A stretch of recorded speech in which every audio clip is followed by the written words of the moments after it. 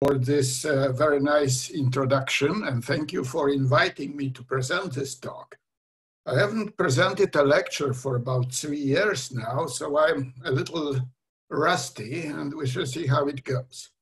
Anyway, uh, I'm going to give you an overview of relaxation in, in paramagnetic systems. So I will begin by defining paramagnetic systems, giving you some examples. I'm going to then go through the, the, the early days of paramagnetic relaxation, early work. Uh, I'm going to discuss a little bit what, what is wrong with the early theories, why we, why we need something better. I will in particular discuss what happens when we are beyond what is called the perturbation regime. And I will also mention some, some other complications. And I will then uh, go a little some something uh, go through something about the experimental strategies and give you examples of applications. And then uh, towards the end, I'm going to give a little outlook of what might might be interesting development in future. So the paramagnetic systems are systems containing unpaired electrons, basically. And the special properties of, of paramagnetic systems are, are due to these unpaired electrons. And unpaired electron spin gives rise to a very large magnetic moment, which is about 660 times larger than, than that of proton. Paramagnetic molecules can often be studied by ESR, but the main topic of the, this talk will be, will be NMR relaxation in paramagnetic systems. Now, this large magnetic moment of the unpaired electron spin influences most of solution properties in, in NMR, uh, such as relaxation, shifts, splittings. But as I said, I will, I will limit myself to, to relaxation today. Important types of paramagnetic molecules that I'm going to mention are organic radicals and transition metal ions and, and their complexes. Oxygen gas is another example, but I will not talk about it. So let me start by the very beginning of, of relaxation, of theory of NMR relaxation, the famous Bloembergen and Purcell Pound paper from 1948. Uh, this is the first paper presenting theory of, of, of relaxation in NMR in general. And already in this very classic paper, the, the, the paramagnetic relaxation is mentioned as an interesting case. And here is a picture coming from, from uh, that work where we, uh, which displays the relaxation time uh, of protons in, in water in presence of paramagnetic metal ions uh, as a, plotted as a function of, of concentration. So this is a kind of picture that, that we saw also last week in, in Professor Bodard's presentation of, of um, NMRD of Y. Now, uh, there are few general things about paramagnetic relaxation that I want to begin with.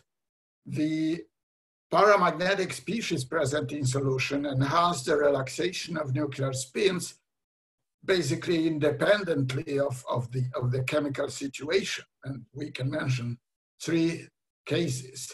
One is where the, the case where, where nuclear spin sits in the same molecule as the paramagnetic center on long time scale. And an example of this kind of system might be uh, might be metalloproteins, uh, where we have a, a, paramagnetic ion sitting more or less permanently in the, in the framework of the molecule. And then if we observe, for example, protons in the system or, or other nuclei in the system, we have this kind of chemical situation. Then what is also very common is that we have the nuclear spin is residing in exchangeable lig ligands. For example, uh, if we look at the uh, kind of measurements as, as those in, in, in my first slide, metal ions in water, that, that's the situation we have there. The metal ions uh, are swimming around in water and, and water molecules can reside either in the coordination sphere of the metal or in the bulk and exchange rapidly between these two situations. Then we have a, a, a little bit more complicated situation where the nuclear spin uh, resides in, in other molecules, uh, in different molecules than the, than the electron spin. So we are talking here about intermolecular interactions. And example of that can be uh, nitroxides in, in organic solvents. Now, uh, the, the BPP theory gave, gave us the very basics of, of relaxation theory, but there are some uh, small mistakes in that paper. Uh, so the, the, the more correct theory of, of dipolar relaxation was presented in, by Solomon in 1955. And uh, Solomon and Bloembergen, the same Bloembergen that was one of the authors of the BPP paper, uh, pointed out that also scalar coupling could lead to nuclear spin relaxation. So both these elements were, were included in, in the, in the mid 50s, as you can see. Uh, the works of Solomon and Solomon and Bloembergen were actually mainly uh, concerned with, with diamagnetic systems where we would have protons or fluorine spins interacting with each other by dipolar scalar interactions. But this work applies also to the diamagnetic and to both the diamagnetic and paramagnetic systems. If we have the nuclear and the electron spins in the same molecule, which would be the case for the this protein example, or for the systems with chemical exchange, where we would have uh, the water, at least in term, or the, the ligand intermittently uh, in the same molecule as, as the paramagnetic ion. Now, when talking about the, the understanding of, of relaxation uh, properties of, of in paramagnetic systems, we have to realize what we actually measure.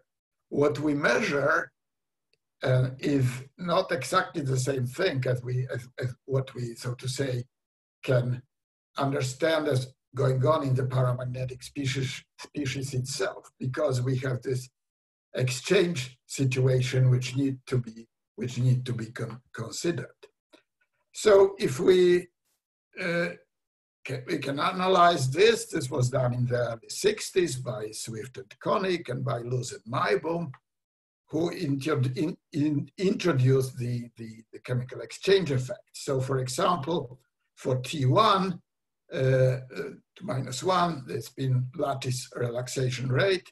The index P here means that it's measured in, in it's a measure, macroscopic quantity that we measure on our spectrometer is related to the relaxation time in the complex T1M but we have also this exchange lifetime, and we have the molar ratio of the of the uh, of the paramagnetic species and, and the ligands. So we we need to be we need to be a little bit careful. We need to to to think about this exchange uh, properties coming into the picture. Now, the third element of the early theories, it was also developed in the early 60s. Uh, and this is the contribution again of Bloembergen, but now with another student, Morgan.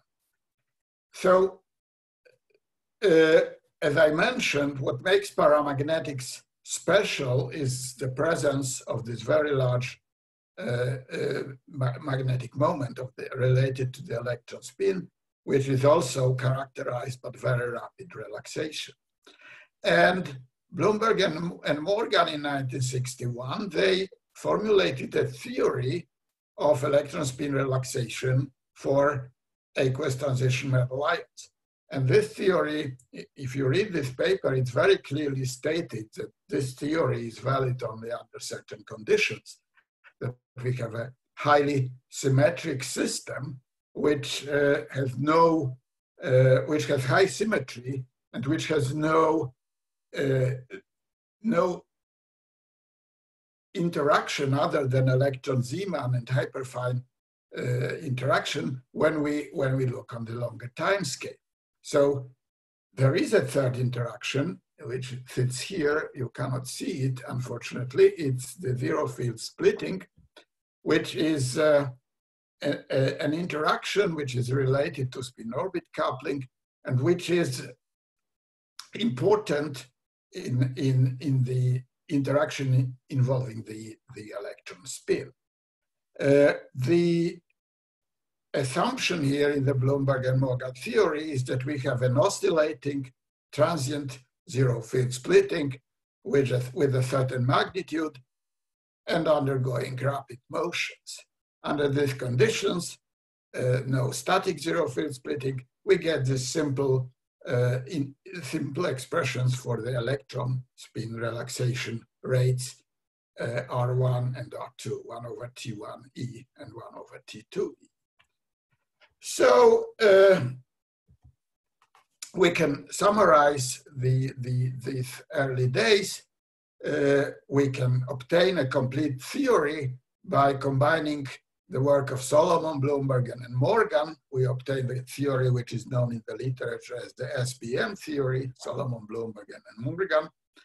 And this gives us, uh, this theory can be summarized in terms of what is called modified Solomon-Bloembergen equation. So MSB and SBM is not quite the same thing, but almost. And uh, we, uh, we can formulate this, uh, this uh, the spin lattice relaxation rate and spin-spin relaxation rate uh, in, in, in a paramagnetic complex conforming to the, to the, to the uh, Bloembergen and Morgan theory. Uh, and we have the, the scalar and the uh, dipolar components, and we have a, a bunch of correlation times which uh, depend on the rotational correlation time, on electron relaxation time, and on the exchange lifetime. So we have a, so to say, complete theory which was developed in, in, in the mid 60s, early 70s. Uh, Koenig and Fiat are an important, uh, important authors and Reuben and, and co-workers. So we have this nice theory, simple, easy to implement, easy to understand. Now, what's the, why, why can't we why can't we use it in, in, in more than, than special situations? Well, there is a number of problems. One problem is that the Solomon, Bloembergen, and Morgan theory is valid in the limit of high magnetic field. So the Zeeman interaction is the dominant interaction for, for the spins that we consider, the, the electron spin and the nuclear spin. Now, I don't need to, in this, to, to, to say to this audience that we sometimes don't want to be at the high magnetic field. We want to be at low magnetic field. We want to do field cycling. And then we, we are in, in trouble, potentially at least. Then we have another problem, and this is uh, uh, known as decomposition approximation, uh, which says that we, we, we had this various correlation times. One was rotational correlation time, another correlation time was the electron spin relaxation time. Now, in order for this approach to be valid, the, these two processes, rotation and electron spin relaxation, have to be uncorrelated which uh, is problematic if you have systems of, of less than octahedral symmetry. For octahedral symmetry, it's fine. But many systems, such as contrast agents, for example, they don't uh, follow the decomposition approximation. And then the third problem is the validity of the perturbation regime. We call it perturbation regime. We, uh, we call it also Redfield limit, often after the work of, of uh, Al Redfield on, on this problem. Uh, so the assumption there is that the uh, product of the interaction strength, whatever it is, and correlation time squared, this product has to be has to be much less than unity. And this is usually fine when we talk about, about nuclear spin relaxation. But electron spin relaxation is more problematic because the, the electron spin interactions are so strong. So uh, we have a problem there, and we need a theory which will take care of all these problems. Now, parts of this are, are quite straightforward, not, not too difficult to do.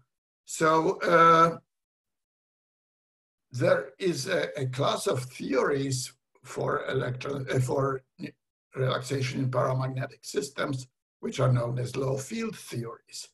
Now, the idea comes from, from Lindner, but was not uh, very, very much used. She formulated it already in mid 60s, but in the mid 80s, the group in Florence with Ivano Bertini uh, took up this model and, and, and presented a nice, uh, nice extension of it, which turned out, turned out to, be, to be very useful.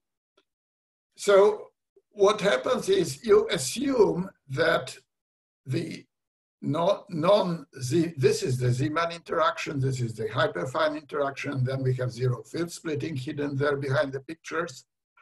Uh, and the if you if you say that the Zeeman interaction is not very strong because the magnetic field is low, then maybe the zero field splitting interaction can be the dominant term in the Hamiltonian.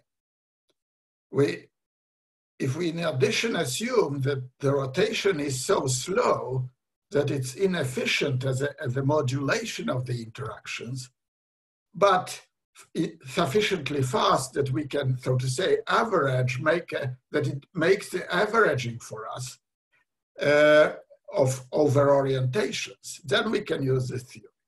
In addition, we have the problem with electron relaxation.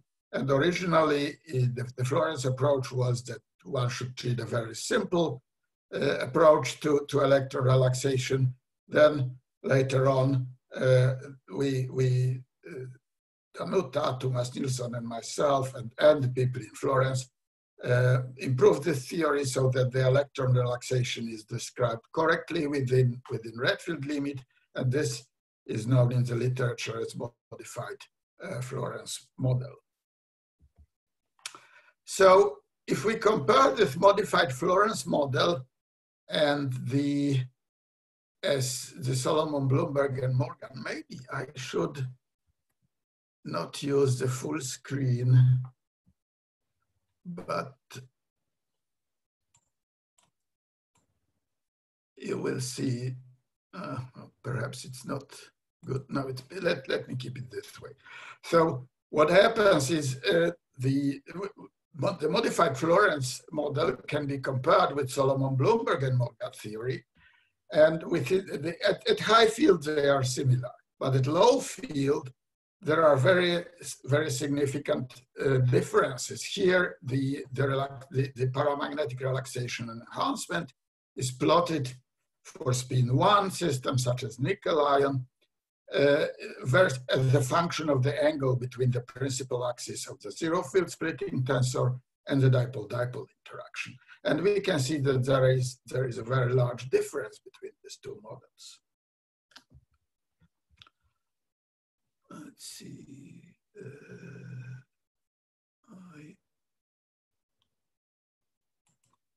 I, I should do it like this. So, uh, now, uh, we have mentioned the problem of electron relaxation. We have mentioned the problem of, of uh, uh, low field, but we still have this, this problem with the perturbation. And uh, we have been working with this in, in, in early 80s in Stockholm when, when Håkan Wennerström was, also, was, uh, was the head of the Division of Physical Chemistry. And we have developed what is now known in the literature as slow motion theory, or sometimes it's called Swedish slow motion theory. So what we have done is uh, uh, we have a problem with the Redfield condition, so uh, that it doesn't apply. So what we, what we can what we did was to replace the the Redfield equation for for for the uh, motion of uh, in, of this of the nuclear spins by stochastic Liouville equation. Now, in this way, we were able to, to introduce a composite lattice with which the nuclear spin interacts. And the composite lattice was able to, to, to contain the quantum mechanical interactions such as electron Zeeman or zero field splitting and classical dynamic processes such as rotation or distortion. Now, making use of this, we were able to, to go beyond the perturbation regime because the rotation uh, was now treated as a, as a, as a, so to say, degree of freedom of the system uh, along with the quantum mechanical uh, interaction. So the fact that the rotation was not fast enough to average out the, the zero field splitting was no longer a problem. And nuclear spins are coupled to the composite lattice by the hyperfine interaction exactly in the same way as, as in, in, in, uh, in the uh, Solomon-Bloembergen theory. Now, using this approach, uh, we were able to, to, to, to obtain an expression for the, let's see, let me just change one thing. We were able to, oops, I have to switch this off because something happened to my screen. Let me uh, go out.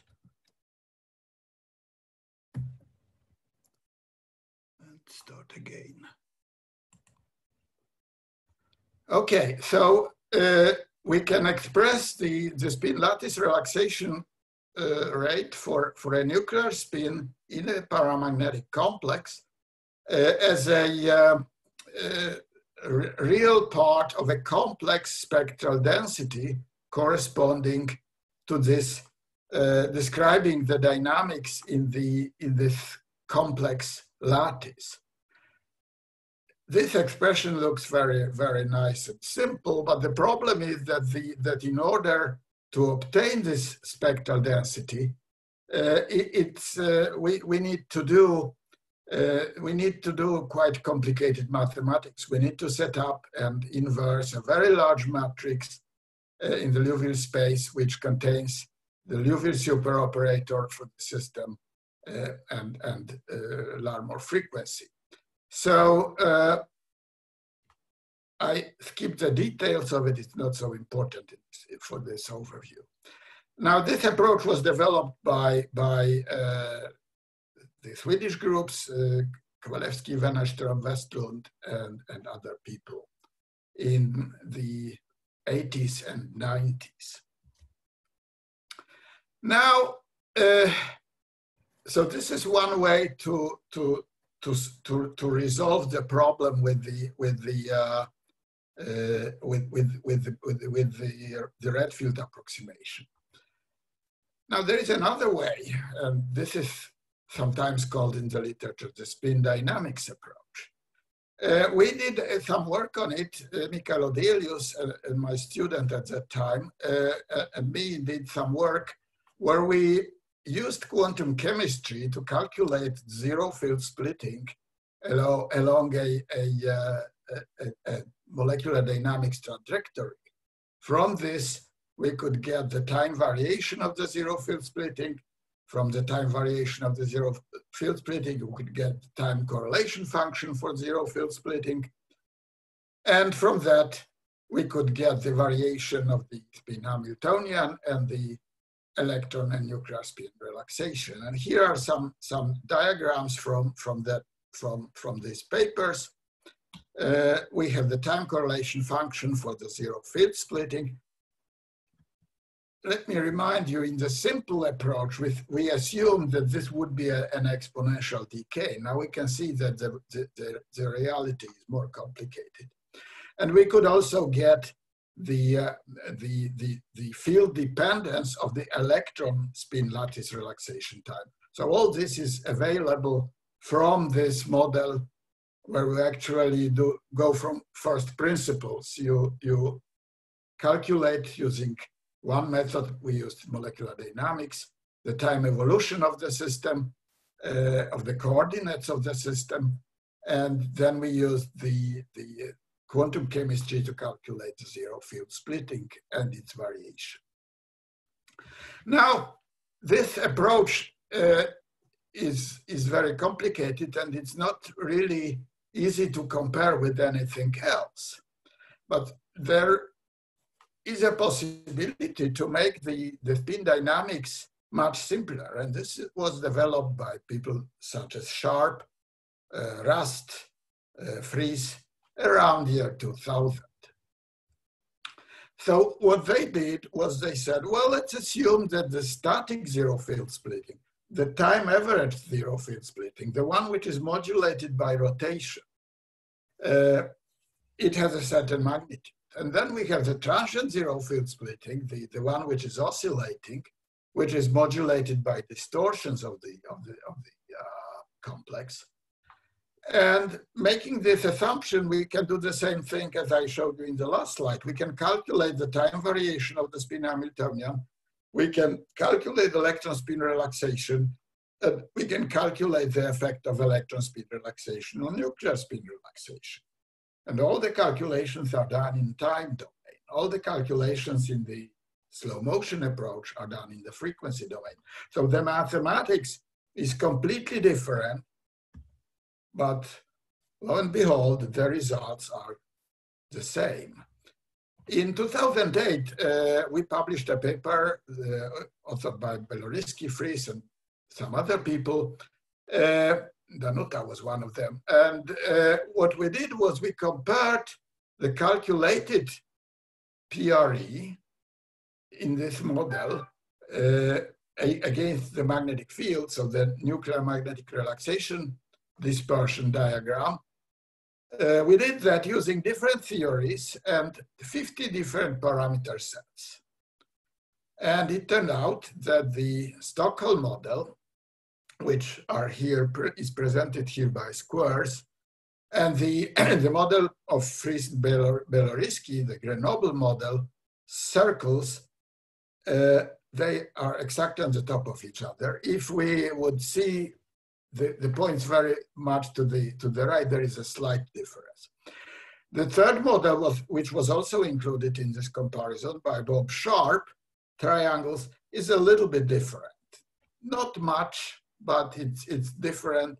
And we understand that this comes from slightly different treatment of electron relaxation than in the model used by ourselves and by the, the, the French model from, from Grenoble.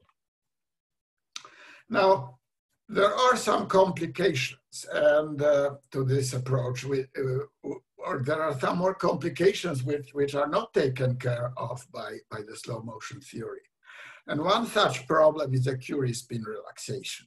Now, the electron, uh, the interactions of the electron spin are so strong that the populations of different levels, different Zeeman levels, are sufficiently different from each other to, to make a difference, uh, to, to cause, to cause uh, complications.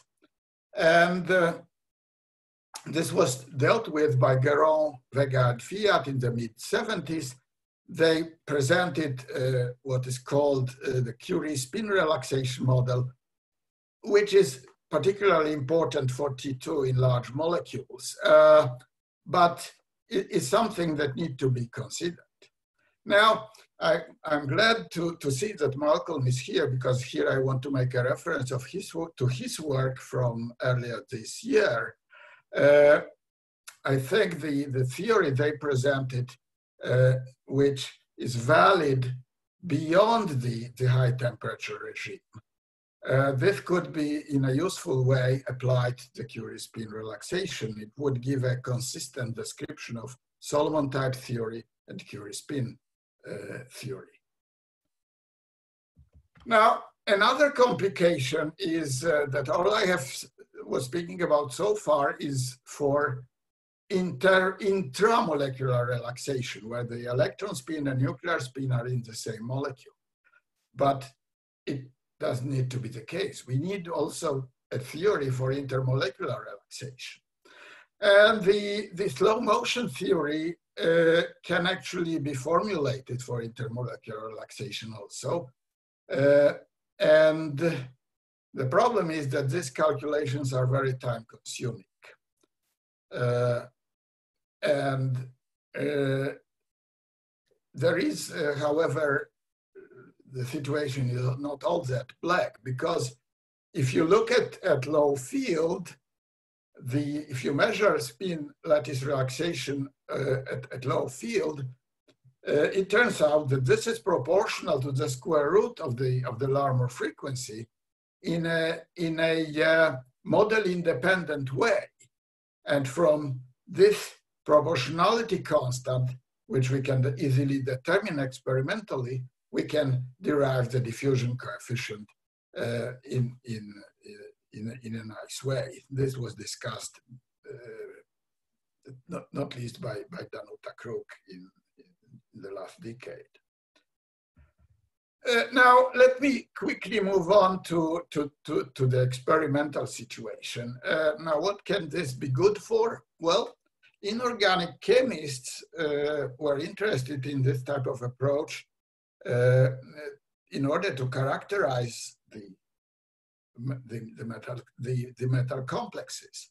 Here is an example of a titanium salt, and the measurements uh, were uh, concerned with oxygen 17 and with spin spin relaxation in, in, in the systems. And measurements were done at three different magnetic fields as a function of, of temperature.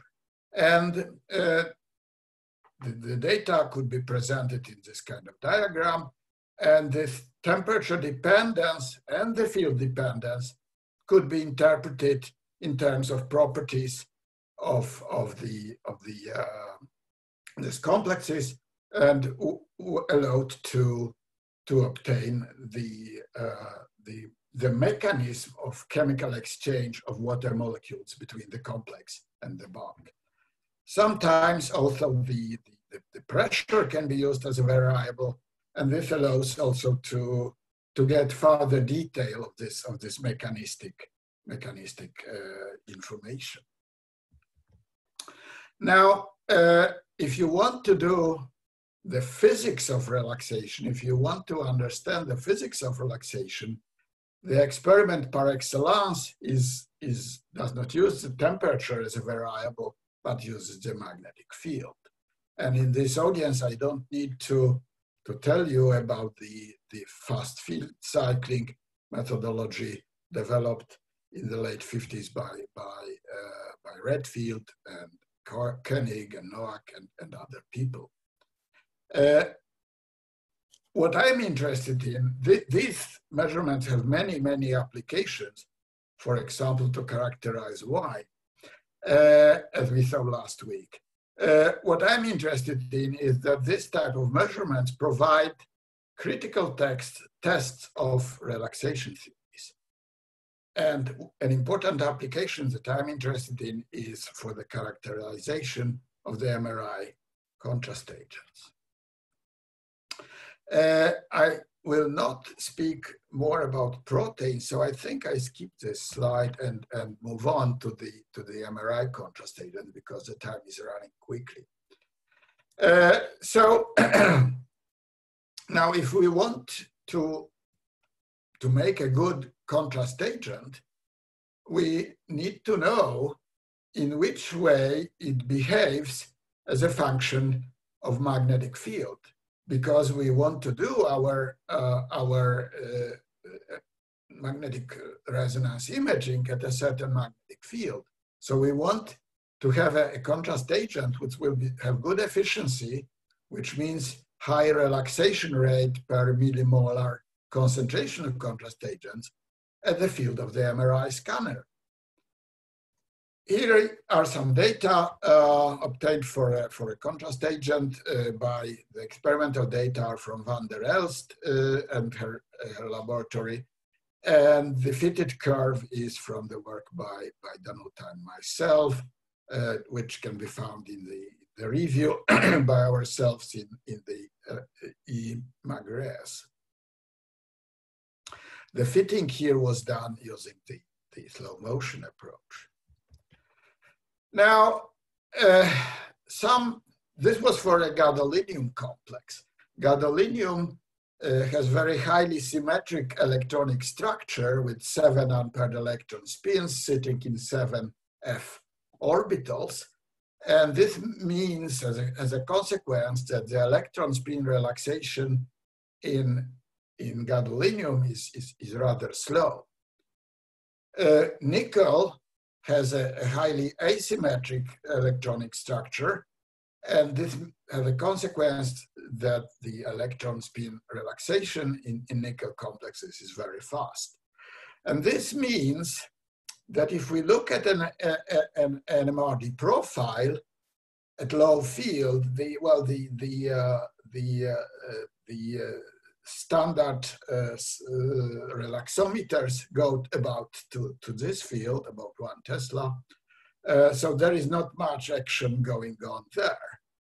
Uh, so for this, we were interested in these systems in nickel in, in, in, in water or in water glycerol mixtures uh, for a long time. And some years ago, we, we decided to, to, to, to happens, to see what happens if you go to as high magnetic fields as you can possibly reach. So we went to the high field lab in Grenoble and did measurements up to 32 Tesla. And you may like to know that 1000 megahertz corresponds to 23 Tesla. So this is much above what is currently available in high resolution in measuring spin lattice relaxation, you don't need high resolution. So this is, uh, this is a nice feature of this type of measurements. Uh, well, here we have the experimental data uh, with, in red. And what we can see here is that the, the, the, field, the relaxation rate goes up with the magnetic field up to about 25 Tesla or so, and then it turns turns down, it starts going down. and we, we did similar experiments number of years ago, but at that time we went to the highest field available in this period. So we didn't get this, this curve turning down. the fitting here, the, the fitted points are the black ones, and this is done using slow motion theory for inner sphere we made a very big effort to include the inner sphere plus outer sphere, but it turned out that, that we, we, we were not able to get results which we would, uh, we would believe to be reasonable. We had problem with fitting, basically. Now, so what could be done if you have this kind of, of, of problems with the model which contains too many parameters compared to the features that you have in your experiment? Well, one way is to, to, to introduce another experiment. And as I told you, uh, in paramagnetic systems, ESR, electron spin resonance, is one such possible model. Um, and by doing ESR on, on, your, on your sample, uh, you can actually obtain additional information. And this idea was, as far as I know, first, first uh, introduced and attempted by the group in, in, in Lausanne, Powell, Merbach, and other people in, in mid-90s. And they, their interpretation was, was essentially using the, the SBM theory. But the idea was very good to do the, the experiments. Uh, now what happens is that if you do an MRD You cover the frequency range from kilohertz to megahertz, few megahertz. Now, if you go, if you include the ESR, you can go up to hundreds of gigahertz. And you can, so if you devise a theoretical model which works for both an MRD and ESR, it is reasonable to expect that, that it captures the essential physics. And we have applied these ideas at the level of slow motion theory. Uh, the now, how do we combine the NMRD and ESR? Well, I mentioned to you this big matrix which we need to invert in order to get the, the spin lattice relaxation rate for, for nuclear spins. Actually, the same matrix has to be constructed and inverted to predict ESR line shapes. The difference is that you do it at different frequencies, and the other difference is that you look at different matrix elements of the inverted matrix. NMRD is interested in these elements here, ESR is interested in, in, in other elements. So uh, if we have a certain set of parameters and, and we can use this the same matrix to calculate the ESR line shape and NMRD, and this may be something useful. So we did this for, for a, uh, a, a, a, contrast agent known as P760 gadolinium compound, and we we used the the uh, the NMRD in a more or less the same way as I showed you before for another gadolinium complex, and then we use the parameters coming from the NMRD to simulate ESR at high fields. The first approach was not very successful. The black curve here is experimental, and the red solid line is, is what we obtained from these calculations. So the, the agreement is not impressive. But then we also have here the dashed curve, red curve, which is much better. And now this has been obtained uh, throwing in a, a, a, small amount of G tensor anisotropy as an additional relaxation mechanism for electron spins. ESR people that I talk to say that this, this delta G is, is sort of reasonable for, for gadolinium complexes. Uh, so this indeed can be, uh, can be uh, can perhaps turn out to be, to be uh, a good interpretation of this data. Now, there is a lot of interesting things in this EPR. We can see that uh, at, at very high field, 237 gigahertz, this is 9.4 Tesla for electrons, uh, we get the, the, the line broadening uh, caused by, by, the, by the G anisotropy. Uh, if we look at the lower field, we get actually the, the line narrowing uh, caused by, by the G anisotropy. So it, there is a lot of nice features in it. Uh, now, the last thing I wanted to, to mention is uh, this combined ESR and intermolecular PRE work on nitroxides in glycerol, and the experimental work is, is, is uh, comes from Danuta's lab uh, and and we she has done most of the theoretical work also. So here, when we work with nitroxides, the, the electron spin situation is, uh, electron spin relaxation is, is, is simpler, can be described within Redfield theory. So we just need to think about including the right interactions in the right place. So here we have a system where we measure on protons we have electron spins, and this electron spins interacts with nitrogen spins in the nitroxides. Now we can have nitroxides with nitrogen 14 or nitrogen 15, which creates uh, different uh, situations. Uh, unfortunately, the, the time is running fast and I will not be able to tell you very much more about this interesting work, but you can look, it's published by, by Danuta in the last decade. Um, let me skip this. And here are some nice profiles.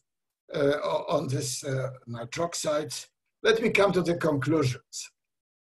So the theory of paramagnetic relaxation is quite complicated because of the strength of interactions involving electron spin. Simple theoretical pictures of this uh, of, of these systems is, is possible in limiting cases. If you want to have a more general description, description you need to use more complex theories. Now, uh, the variable field spin lattice relaxation is highly informative. And I believe that the combination of ESR and MRD will be, is likely to be used more in the future work. I didn't tell very much about paramagnetic proteins, but it, you will take my word for it that it remains a hot field. And with this, I would like to finish. Uh, I would like to acknowledge long-term cooperation with Danuta, uh, which was sort of summarized in, a, in, in this eMagRes paper uh, a few years ago. Uh, I would like to acknowledge also uh, uh, long-term collaboration with the group in, in Florence, Ivano Bertini, Claudio Luchinat, Giacomo Parigi in the first place, and I would also like to thank the Swedish Research Council for long-term financial support. And I want to thank you for your attention. And uh, you can see this nice picture of, nice view of Overs, central Stockholm.